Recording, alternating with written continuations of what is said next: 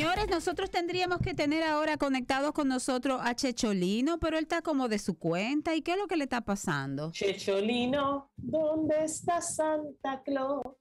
Un saludo muy especial a cada mañana latinista que sé que ha escrito y que María en un ratito, después que encuentre en el, en el mapa Waze eh, a, Checho, va a estar saludando a cada uno Mira, de ustedes. Mira, por aquí están Pamela, que nos hizo, eh, perdón, eh, Pamela, que nos hizo esa pregunta que ya le contestó Sara, las deudas, tienes que hacer un análisis de qué te sale más económico, si pagar esa deuda y no seguir pagando los eh, impuestos que esa deuda genera, los intereses, o si invertir ese dinerito. Minerva, buenos días. Gracias por estar con nosotros.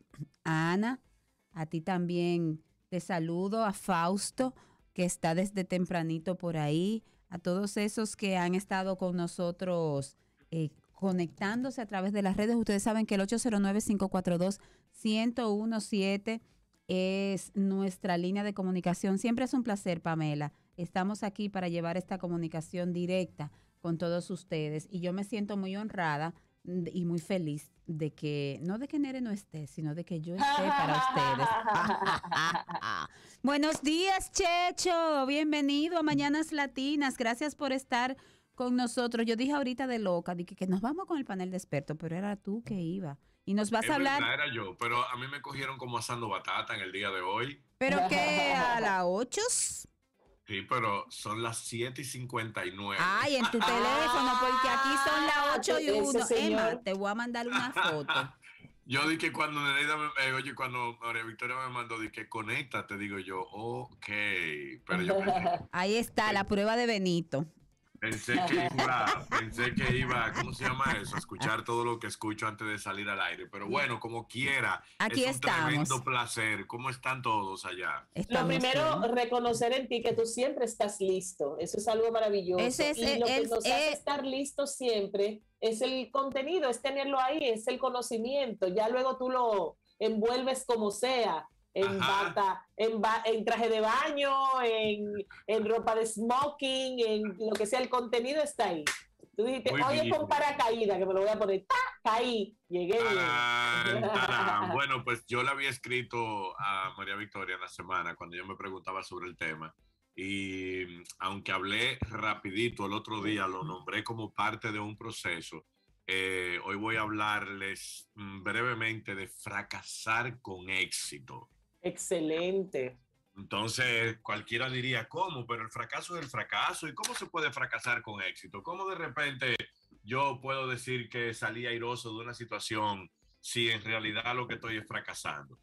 Pero nosotros podemos empezar diciendo que en programación neurolingüística hay una máxima, hay una creencia de la misma programación neurolingüística que dice que en la vida no hay fracasos. Oh, wow que lo que hay son resultados. Wow. Entonces, eso quiere decir que si yo voy por un proceso, si yo de repente estoy tratando de conseguir algo, estoy detrás de un objetivo, eh, no sé, o me pasa algo circunstancial, me despiden del trabajo, termino una relación amorosa, o sea cual sea eh, la situación en la que yo me encuentre, siempre hay una manera diferente de colocarme frente a esa situación. Entonces, por ejemplo, hay una pregunta que a mí me encanta hacérsela a mis alumnos, porque fue algo que leí, me lo encontré tan chévere, que es una frase que dice, si yo no pudiera fracasar, en el entendido de que todos, paga la redundancia, entendemos el fracaso como tal, como nos han enseñado, como una derrota, como no logré lo que quería, a lo mejor me siento menos, a lo mejor tengo mi autoestima desbalanceada y demás. Si yo tuviera la oportunidad de no fracasar, ¿qué yo haría? Mm, frente, a, cualquier circunstancia, ¿qué yo haría si yo tuviera el chance de no fracasar? Imagínate la cantidad de cosas que uno escribiera, precisamente porque como desde pequeño nos enseñaron que cualquier cosa en la vida era un fracaso. Si te divorcias, es un fracaso. Si no te gradúas de tal cosa, es un fracaso. Si no este, llegas al final de un proyecto que te, que te propusiste, es un fracaso. pero ¿y qué es eso? Vamos a romperle un poco ese mito del fracaso. Por lo que te digo, porque el, cuando el cerebro tú le dices fracasaste, es como un peso que pienso yo y ahora desde todo lo que mm, he, visto, he vivido y he experimentado a través de la programación de la lingüística y de las otras cosas que yo he hecho, es un peso muy grande y vale la pena o vale la pena verlo desde otra óptica, que esa es básicamente mi propuesta del día de hoy, ver las cosas desde otra óptica.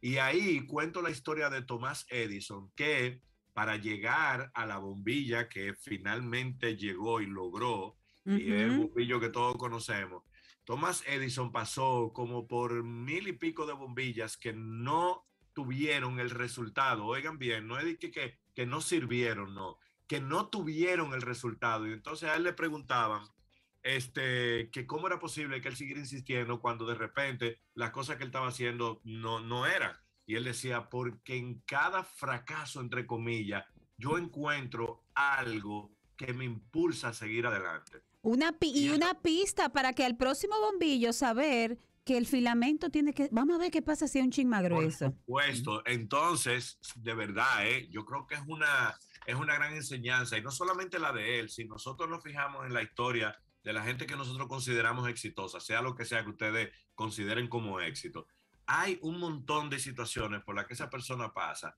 y en vez de tirar la toalla, decir, ah, ya no puedo más, es verdad que por el camino quizá uno se puede cansar en un momento determinado porque es, es lógico, la frustración existe, pero no dejarse llevar de eso y tratar de ver, ok, ya yo me fui por este caminito, ya yo quiero ir, qué sé yo, quiero ir abonado me voy por una carretera que no es la carretera Duarte. Ah, bueno, pues me tardo más tiempo. Entonces ya yo sé que por ahí el resultado va a ser que quizás si llego va a ser mucho más lento. Entonces me devuelvo por otro lado. Eso es en caso de que la autopista Duarte estuviera cerrada, ¿verdad? Así es. Y así voy probando, voy probando, pero no me voy desesperando, ni siquiera voy, como dije, como rindiéndome ni tirando la toalla. ¿Alguna pregunta que de, de, Dan? Sí, tú hablabas de, cuando tú y yo conversábamos, hablábamos de fracasar con éxito.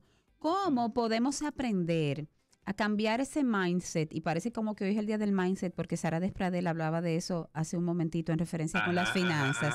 ¿Cómo podemos cambiar ese mindset para decir, por ejemplo, eh, Empecé la carrera de odontología y no la terminé, soy una fracasada. Empecé la carrera de, odontología, me di cuenta que no me mm. gusta. Qué bueno que me di cuenta a tiempo, porque es muy difícil, es muy costosa y es muy larga. Y pude encontrar otra cosa que sí me gusta y eso estoy haciendo.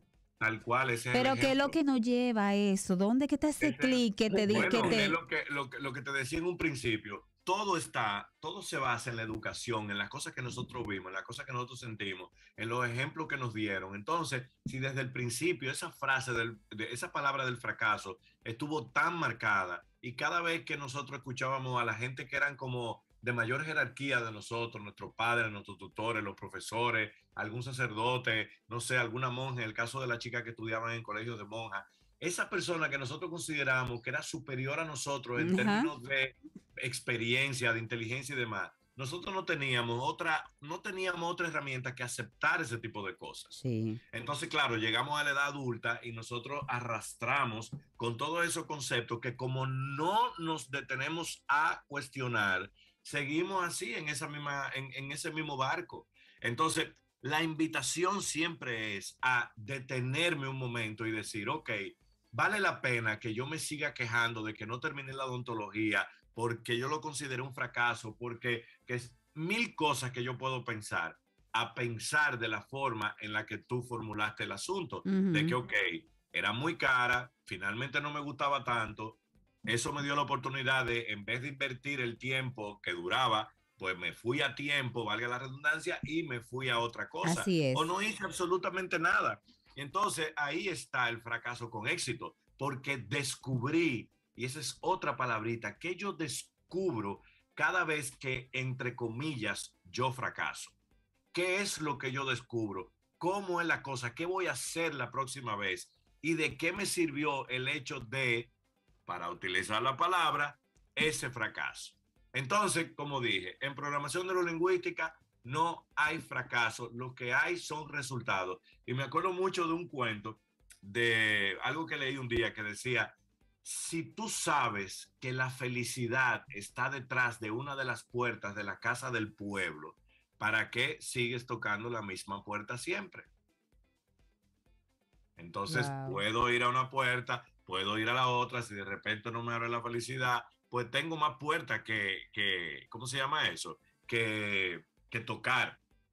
Pero, eh, Checho, también hay otro momento, y es, por ejemplo, cuando estamos formando a los muchachos y tú los estás ayudando a que aprendan un instrumento o practiquen un deporte y tú cuadra con ellos que espérate, si de verdad te gusta, te tienes que comprometer por lo menos un tiempo eh, para no, eh, digamos, ah, hoy me gustó, como tipo, tipo Rey Julien, hoy me gusta, mañana no hoy me no me gusta, hoy me gusta, hoy no me gusta, sí. Porque tú tienes que ir reforzando en ellos la responsabilidad y el, y el empeño.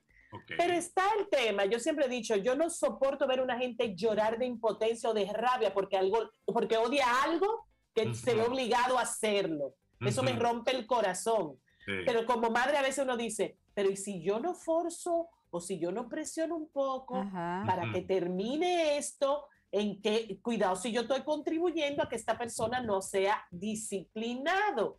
¿Qué uno debe hacer en ese caso? Digamos, yo siempre ponía un punto, mira, vamos a completar el año académico y después lo hablamos. Y estás en la libertad, aquí no hay nada eh, obligado, pero ya el año se pagó. Mentira, no estaba pago, era embute de madre.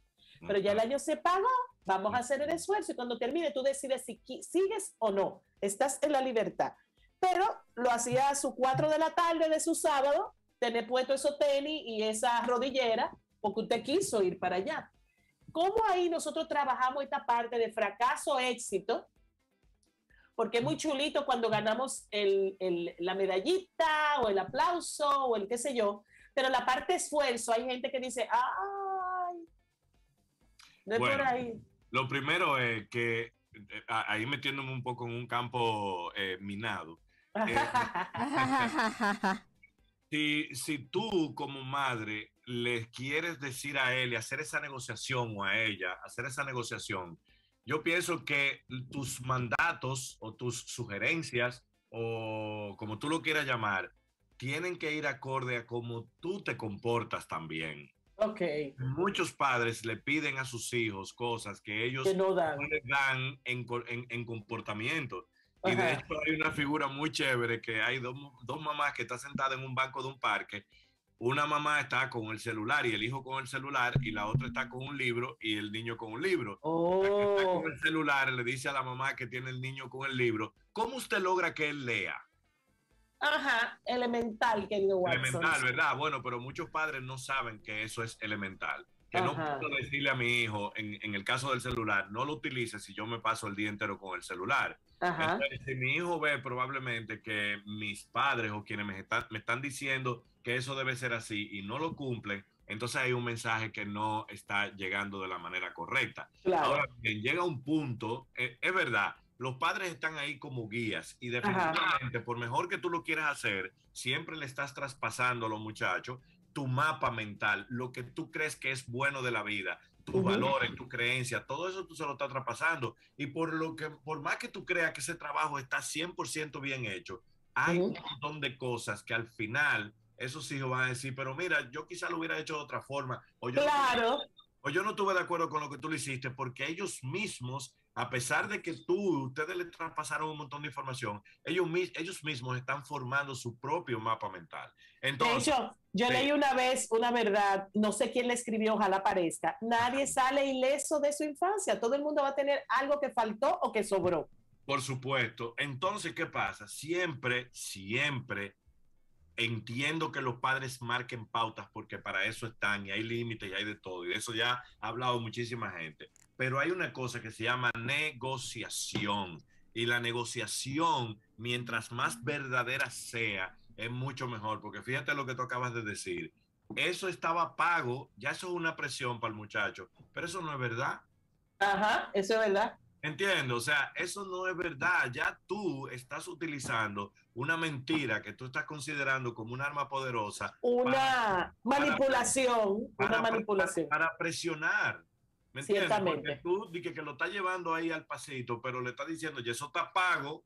Ajá. le está diciendo al muchacho que está obligado a carabina a hacerlo o no hacerlo. Ciertamente. No, va a haber un miedo y va a haber la posibilidad de que ese muchacho diga, mierda, pero si yo no hago lo que mi mamá me está diciendo, me va a echar en cara toda la vida que eso tuvo pago. Ciertamente.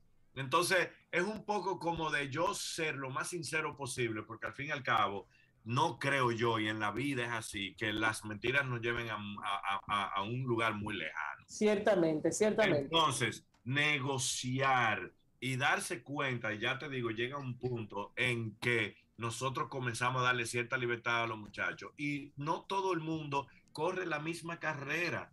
El, el, 100 de un hijo tuyo probablemente es tu 80. Ajá.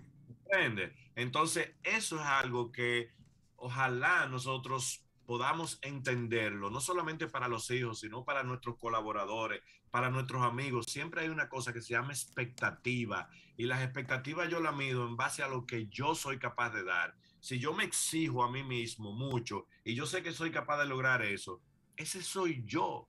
Pero eso no necesariamente tiene que ser mi colaborador que me queda a mano derecha. Así es. Claro. Ni tiene que ser mi hijo, ni tiene que ser mi hermano, ni tiene que ser mi mejor amigo. Cada quien con lo suyo el trabajo mío es yo saber cómo yo gestiono eso y si soy capaz de entenderlo y qué puedo yo y lo que yo puedo considerar un fracaso en la otra gente, a lo mejor me está enseñando algo a mí.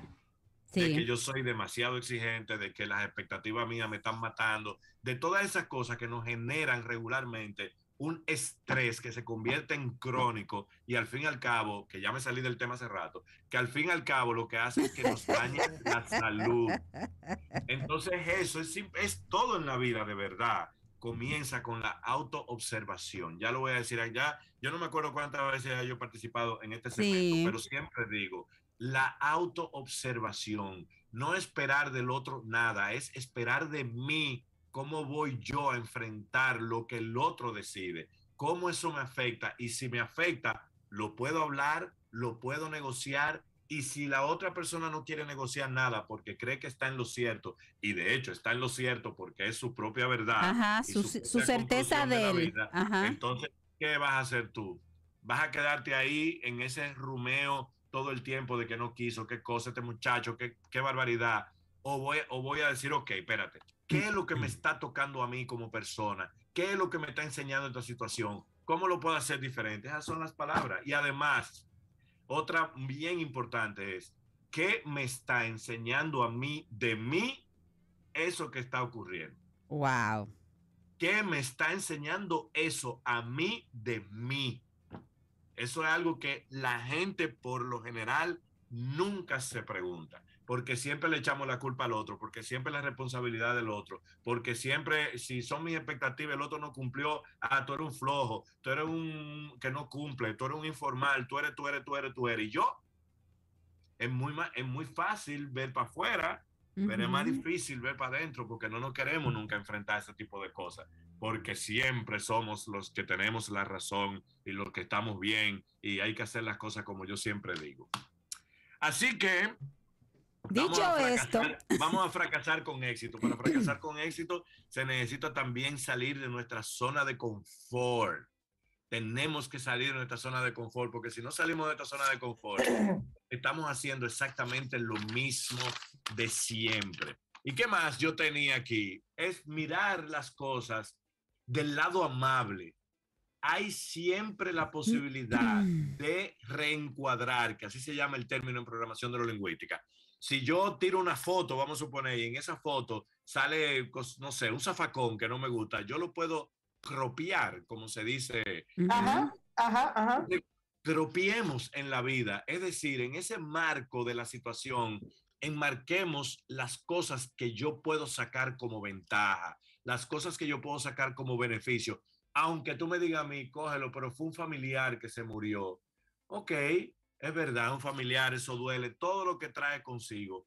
pero al fin y al cabo, también de ahí, nosotros podemos un poco, eh, eh, em, eh, ¿cómo se llama? Sacar conclusiones o, o, o pensar que, que, cuáles fueron las cosas que me dolieron, qué dejé de hacer con esa persona que no quiero que me vuelva a pasar con otra. Hay un montón de aprendizajes de cualquier situación de la vida, siempre y cuando nosotros querramos aprender. Siempre es eso, qué lección he aprendido y cómo puedo cambiar eso para que la próxima vez sea diferente y así yo voy a fracasar con éxito. Así es. Gracias, Checho. en lo que no has fracasado nunca es en tu amistad porque nos sigues aguantando veinte y pico de años después. a mí él me sigue disfrutando. aguantar, al a mí él me está disfrutando. Eh, pues, ese es un placer porque una de las cosas de fracasar con éxito es que si nos envolvemos de gente chévere, buena onda, buena vibra, que eso es verdad. exactamente como piensa uno o parecido, que sean gente que aporten, entonces tú tienes un colchón bastante bueno que también te va a servir de apoyo cuando haya un fracaso, entre comillas. Así es. Porque ya ustedes se convierten en parte de mi éxito. Así es. tú eres parte de mi éxito. Te quiero, José Ramón Gracias. Cuídense mucho. Síganme en las redes, checho.rd. Un beso. I love you, Checho. semana. Chao, chao. Chao.